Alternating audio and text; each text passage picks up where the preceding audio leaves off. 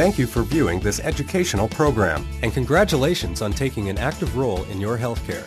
It is our sincere hope that this program will enhance the discussions between you and your physician regarding your procedure. This presentation is not meant to replace those discussions, but simply to make them more meaningful. This module provides an overview of urodynamic studies, including how they are done, why they are done, and what you should know prior to your appointment. The information provided is of a general nature, and some details may vary according to your location and to the specifics of your situation. To understand how urodynamics work and why we do them, let us first discuss how urine is handled by the body and how the bladder normally functions. Urine is produced by the kidneys and travels through tubes called the ureters to the bladder. These illustrations show the male and female anatomy of the pelvis from the side, showing the bladder and urethra.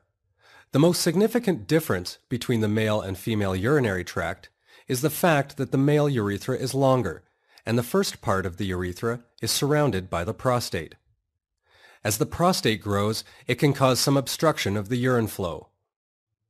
The bladder has two important roles in handling urine. It must first of all store the urine that comes down from the kidneys. Then it must completely empty that urine and expel it from the body. Urodynamic studies evaluate how well the bladder performs these two roles. For the bladder to function properly, three different components must work normally. The nervous system, including the brain, spinal cord, and nerves to the bladder, the bladder itself, and the sphincter, or urinary control muscle. The sphincter is a muscle that squeezes around the urethra, and it is closely associated also with muscles called the pelvic floor muscles. Malfunction of any of these components can lead to a variety of bladder difficulties. Now let us examine the two roles of the bladder in more detail, beginning with storage of urine. A normal adult bladder should hold about 500 mils, or 2 cups, of urine, and normally we empty this volume every 3 to 4 hours. In order to store properly, the bladder muscle must stay relaxed as it fills with urine. Contractions or spasms of the bladder muscle as it fills leads to a sensation of sudden urgency and difficulty controlling the bladder.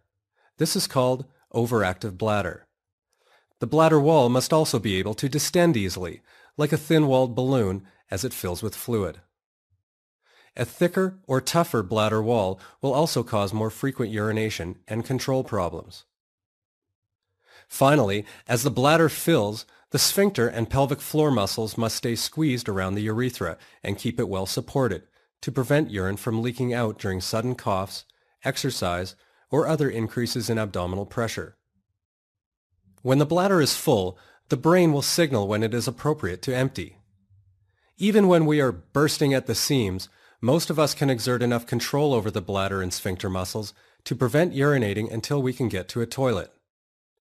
When we are ready to urinate, the first thing that must happen is relaxation of the sphincter muscle, which must be complete and sustained as the bladder empties.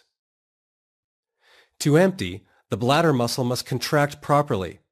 And finally, the bladder and sphincter must be coordinated with each other during this process. Otherwise, emptying will not be complete as the sphincter muscle inhibits the flow of urine out of the bladder. Problems with how the bladder functions will typically lead to one or more of a few common symptoms. These include abnormal frequency of urination, where you have to go all the time. Abnormal urgency of urination, where you have difficulty holding your bladder to get to the toilet in time. Leakage of urine, called incontinence. And difficulty emptying the bladder, called retention of urine. For each of these problems, there may be many different causes. Successfully treating the condition depends on properly determining the precise cause. To do this, urodynamic studies may be required, and in many cases, they are an invaluable tool in sorting things out. Other tools or tests used to understand the cause of bladder symptoms include a medical history, physical examination, including a pelvic and or rectal exam, voiding diaries, laboratory tests, ultrasound, and cystoscopy. Cystoscopy is a test where a small telescope is inserted into the bladder through the urethra, allowing a direct inspection of the inside of the bladder. Urodynamic studies are not required for all patients with bladder problems by any means. Some of the more common reasons why urodynamic tests may be requested include when conservative treatment and or medications fail to resolve a problem, when a problem is complex and precise diagnosis is required, when surgery is planned or being considered, with problems following surgery, or when a neurologic condition affects the bladder function. The concept of a urodynamic test, where small tubes are passed into the body, may be intimidating or distasteful for some. However, it is important to note that this is not a painful procedure, and the results of these tests are very valuable to your doctor in helping him or her help you out. There is little in the way of risk associated with a urodynamic procedure. Bladder infections rarely do occur afterward, but antibiotics are not routinely used for everyone. Drinking plenty of fluids after the procedure will reduce the risk of infection and also help to clear the small bit of blood that you might see afterwards. Typically, a urodynamic study takes approximately 30 to 60 minutes to complete, and it is usually done by a nurse or technician. A doctor may also be present for some tests. There are two types of urodynamic tests. Video urodynamics involve the simultaneous use of X-ray pictures periodically throughout the procedure, while non-video urodynamics do not. In preparing for your urodynamic study, there is little you need to do. However, it is helpful to review the following checklist. If you have collected voiding diaries, where you keep track of your urination frequency and leakage episodes, bring these along with you to the test. As with any medical appointment, it is always helpful to bring your medication list, including the dosages. Take your usual medication on the day of the exam.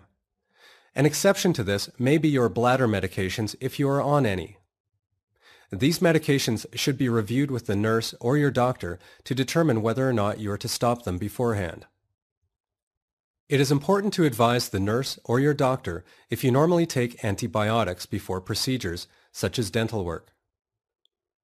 Also let them know if you have any concern that you might have a bladder infection at the time of the procedure. If you have a neurologic condition, it is important for the staff to know what that condition is and if you need assistance transferring from a wheelchair. Finally, some patients with neurologic problems get headaches or sweating when their bladder gets too full. If you have experienced this, please let someone know. On the day of the procedure, eat a normal meal, move your bowels as necessary, and try to arrive at the exam with a comfortably full bladder. This may be difficult for some patients, of course, but as best as possible, try not to empty your bladder for a couple hours prior to the test. If you are finding it difficult to hold your bladder and are bursting at the seams when you arrive, let the staff know so that they can have you urinate on a special toilet rather than in the public washroom. The urodynamic study begins with an interview with a nurse, technician, and or a doctor.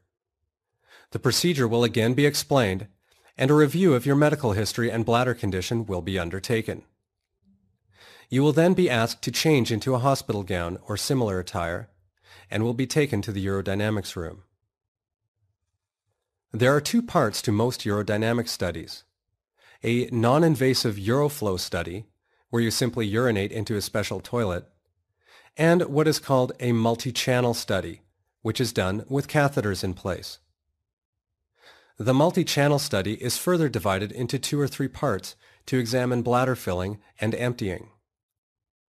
All of this can be done with or without X-ray.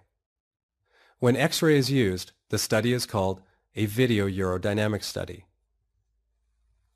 If you are normally able to empty your bladder on your own, you will be asked to do so in a special toilet. This is called a Uroflow test, and it measures the rate, volume, duration, and pattern of urinating.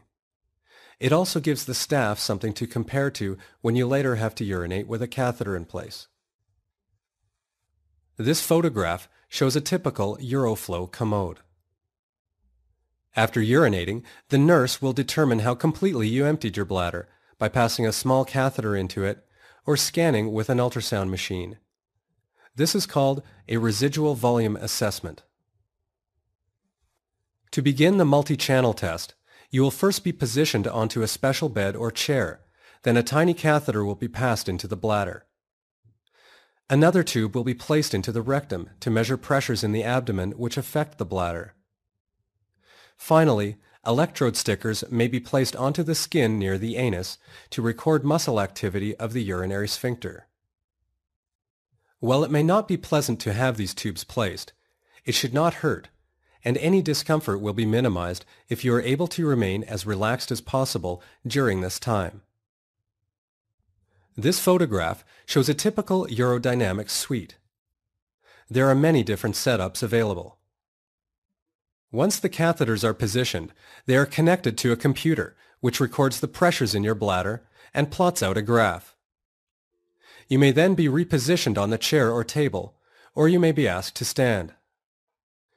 If you are having a video urodynamic study, an X-ray machine will be positioned in front of your bladder.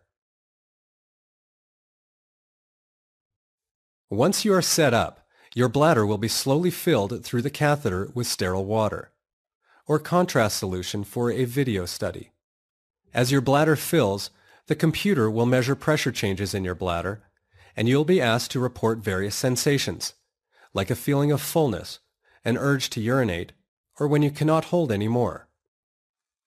This part of the test is referred to as the filling cystometrogram, or CMG. If part of your bladder problem involves urine leakage or incontinence, then during filling you may be asked to bear down or cough to bring about this leakage. The nurse will try to record the pressure at which this leakage occurs. While this may seem a bit unusual or even embarrassing, it is important for the study to try to reproduce what happens to you at home. The goal of this part of the procedure is to determine what is called the leak point pressure or LPP.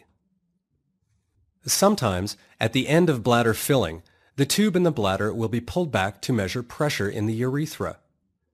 This provides a measurement of the strength of the pelvic floor and the ability of the urethra to close off and prevent leakage of urine. This part of the study is called a urethral pressure profile, or UPP. Once your bladder has been filled, you will be asked to urinate again into a special toilet. This time, the small catheter may be left in the bladder, and you will urinate around it. While unusual, this is actually easier than you might think. Again, x-rays may be taken while you urinate. This part of the exam is called a pressure flow study. Following the procedure, you can resume your normal activities.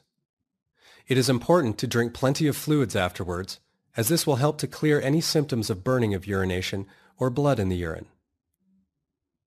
Rarely, it may be necessary to see your doctor after a urodynamic study if there is significant bleeding or burning with urination that does not clear quickly, or signs of a serious infection such as fever, chills, or pain in the sides.